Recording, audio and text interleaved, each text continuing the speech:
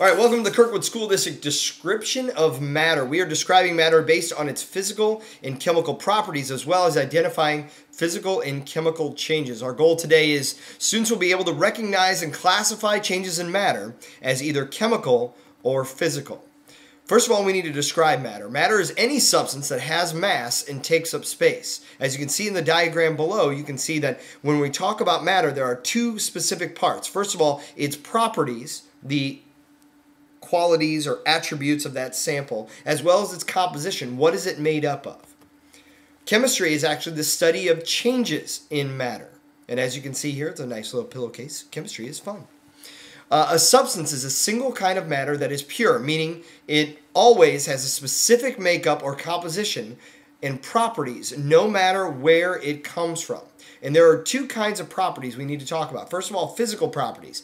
Any characteristic of a substance that can be observed without changing it into another substance. So, for example, this liquid in the picture here is blue. That is a physical property. Its color, its freezing point, its ability to dissolve, its hardness, texture, luster, which means shininess, conductivity, as well as its mass, and many other more descriptions are all descriptions which are called physical properties.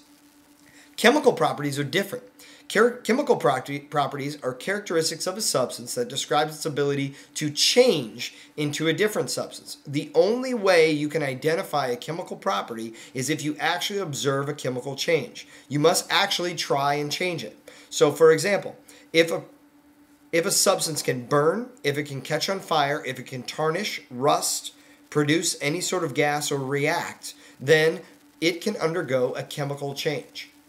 Physical changes are pretty easy. Okay, it's a change that alters the form or appearance, but does not make the substance into a different substance. So, as you can see in the picture, this truck is getting run over, but it's still made of all the same things. It just looks a little different. So, when a substance undergoes a physical change, it's still the same substance after that change. Physical changes are changes in what two things? Well, it can be a change in state, meaning solid, liquid, or gas or it can be a change in shape or form, for example, crushing or breaking something. When you're thinking of dissolving, dissolving is one of the most difficult difficult properties. When dissolving sugar, is that a physical change? The answer is yes. The reason why is because sugar inside water is still sugar. If you taste the water, it tastes sweet. This means the properties of the sugar are still there, just mixed in with the water. It's a mixture. If you vaporize the water, what you'll be left with at the bottom of the glass will be a big pile of sugar. A chemical change is different. It's a change in matter that produces one or more new substances. So, for example, in this sparkler here, the, the properties of the materials that are made at the end of this chemical change are no longer the same as the properties of the items beforehand. So, unlike a physical change, chemical changes produce a new substance with properties completely different from those original substances. So if you imagine that wood right there in the picture burning, when it's done burning, there is no more wood left. Obviously, it's changed into something new. There are great examples in your textbook um, that give examples of chemical changes. You can see combustion, electrolysis, oxidation, tarnishing, a description of each as well as an example. Definitely check those out. Now, all of these changes undergo or, or happen at while a process occurs, changing from one thing to the next. This happens, and when it happens, the law of conservation of mass is observed. This means that nothing, no mass, nothing can ever, ever, ever be created or destroyed. So when you take a piece of paper and rip it in half, it will have the same mass as it did prior to that full sheet of paper being ripped in half. Matter cannot be created or destroyed during any chemical or physical change. So, for example, here's a chemical reaction that is a combustion reaction. You can see over on the left side, methane reacts with oxygen and fire. So, there's one carbon, four hydrogen, and four oxygen molecules. When that combustion re reaction occurs, everything rearranges. We get carbon dioxide and water as our products. You'll notice one carbon, four hydrogen, four oxygen. This holds true to the law of conservation of mass. You can see the amount of carbon does not change. The amount of hydrogen does not change. The amount of oxygen does not change. This is a law that holds true in all physical and chemical changes. Throughout this video, we have recognized and classified changes in matter as chemical and or physical. To wrap it up, this great video, and I like his accent, that teaches you a little more about examples of things that are both chemical and physical changes. Check this out.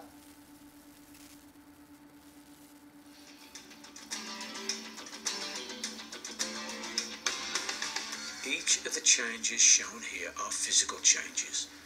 A material has changed, but it is still the same stuff. It is still the same substance.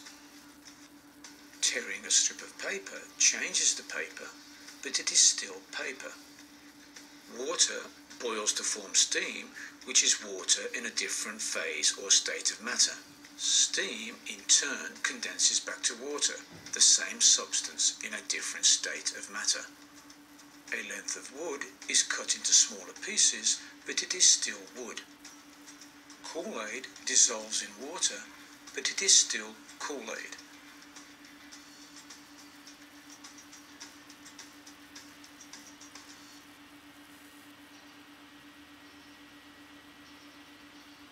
In chemical changes, a new substance is formed.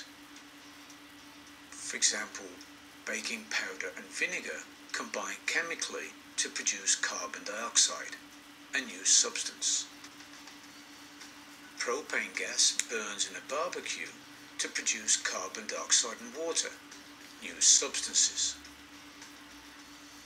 When sulfuric acid is added to sugar, there is a chemical change.